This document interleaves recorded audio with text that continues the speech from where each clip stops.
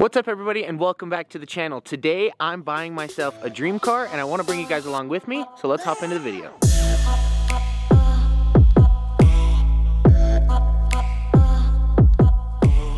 Alrighty, so it's currently 2.03 in the morning. Jose Bano is ready to go. I got home two hours ago. I slept in. Jose actually had to wake me up so I didn't miss my own car appointment.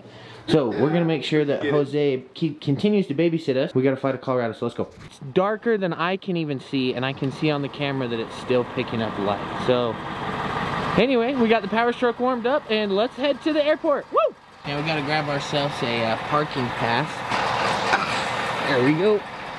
All right, now on to Denver. All right, listen, you stay right there. You don't go anywhere. We'll be back in like 24 hours to pick you up. Jose, we need to hurry because we have like an hour until our flight leaves and the shuttle is right there. Right there. ah, you guys are literally catching live action, running down. Oh no. We may or may not miss the shuttle for our flight.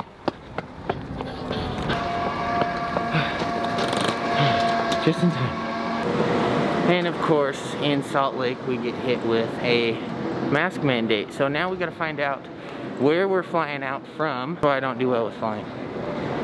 Because it takes a lot of paying attention and I'm not very good at that. That if you're coming to the airport, you should probably figure out your itinerary, your passes, all that stuff. Plenty of time before. I didn't think about that stuff. So now we are uh, hoping that we're not late, but we're just about to check back into security.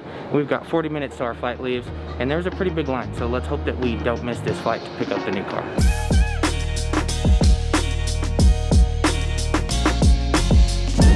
Flight leaves in one hour and 10 minutes. We made it. Five minutes till gate close. We did it.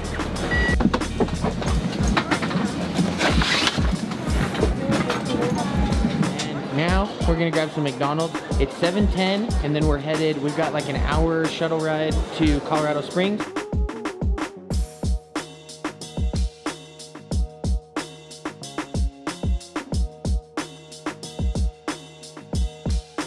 The trippiest floor I think I've ever walked on in my entire life.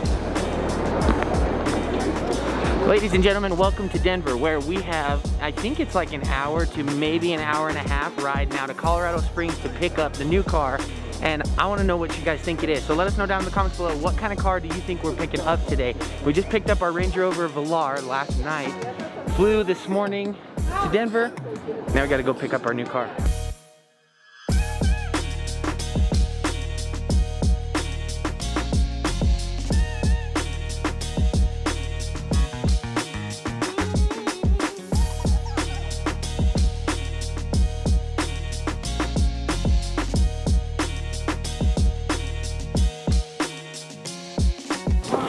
Alrighty guys, we made it all the way down to the Ford dealership here in Colorado Springs, Colorado. And these guys have Mustangs everywhere. There's one up here, one up here, Mustang Mach-E X up front over here. There's Mustangs lined all the way up over here in the front. Now we just gotta find out where ours is and where we're supposed to be. Got two more Broncos over here another Mustang Mach 1 over there. You guys got Mustangs freaking everywhere.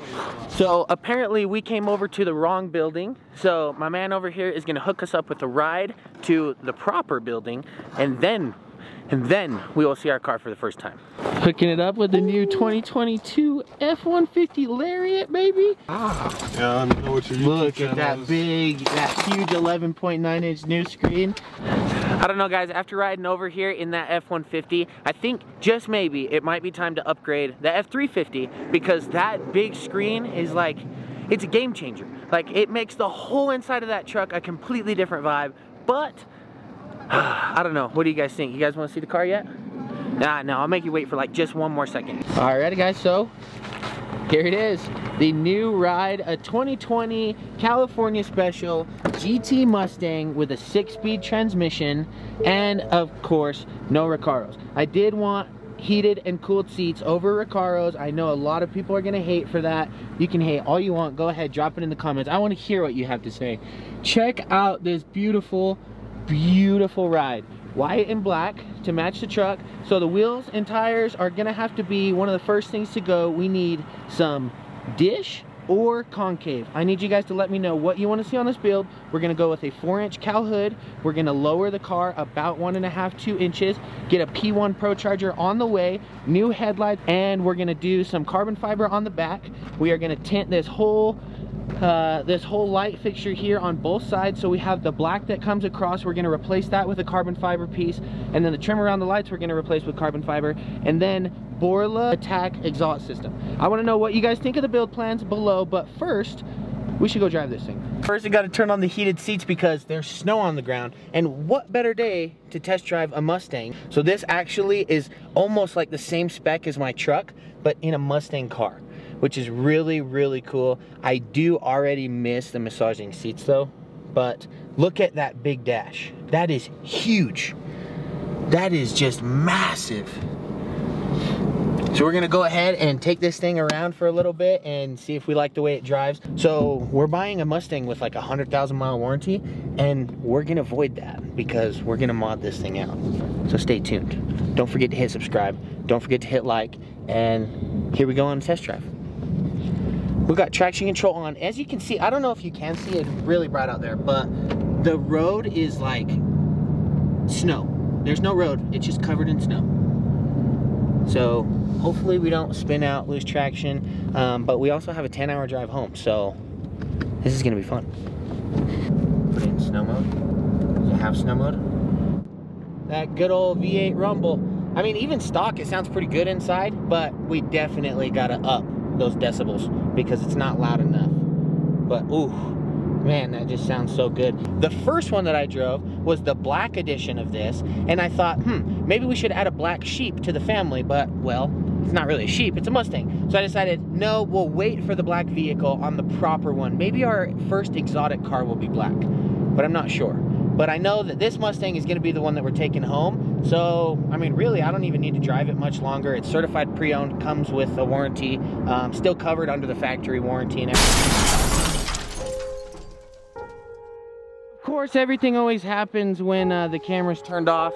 But uh, driving on these roads, I hit a patch of slush and, well, this is what happened. I just totaled my 2020 brand new Mustang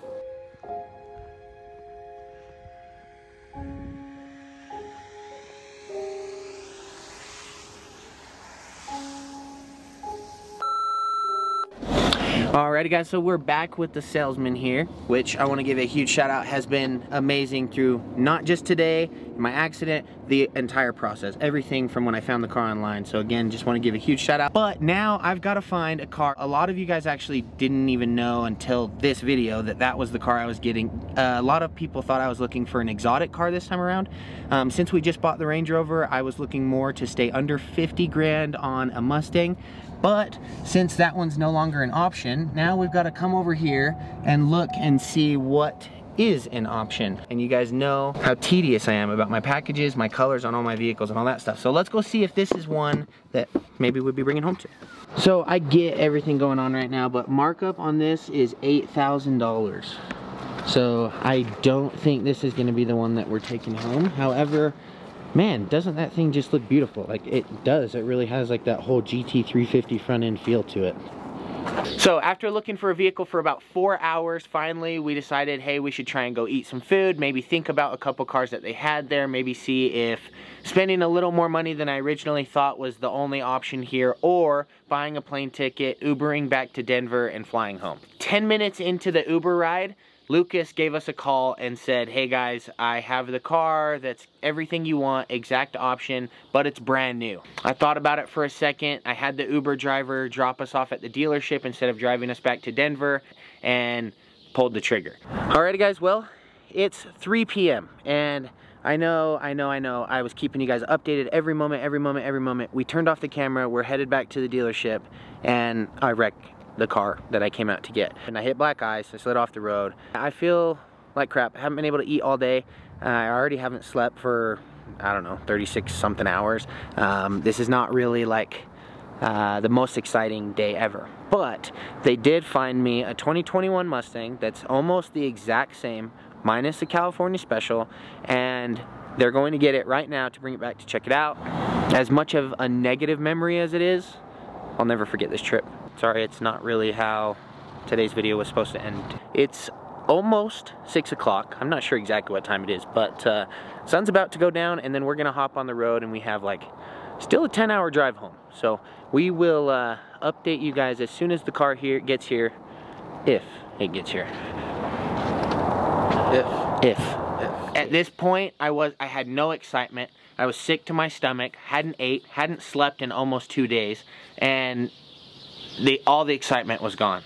And then about 7 p.m., you could hear that 5.0 V8 rumble pull into the parking lot. And I stood up, and all of a sudden you could see Lucas pull around the corner and into the detail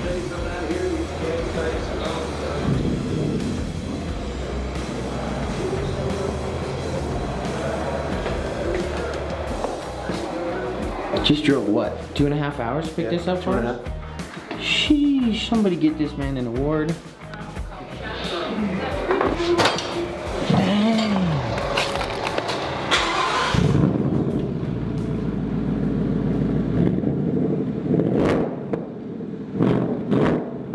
The salesman even gives us some baby revs too?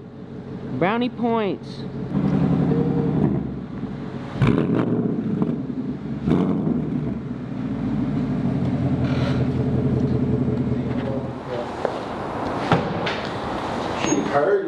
99 miles. How many of those were put on it getting here? About 70. Alrighty guys, so here is the new car. And also, can we just give a shout out to uh, that Canon RS and that guy for kicking it with me all freaking day so I didn't have to do this alone. This right here is about to be our cockpit for the next nine hours, so let's see if we can uh, stay awake.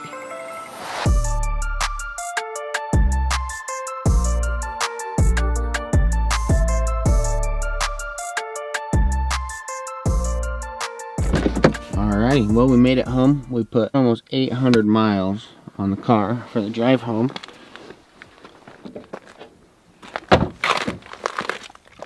Jose, we made it. Made it. Finally. We're going on almost two days of no sleep. So I think it's time for us to call it a day. So I think that effectively ends today's vlog. Thanks for watching. Don't forget to like, comment, subscribe, and we'll catch you on the next one.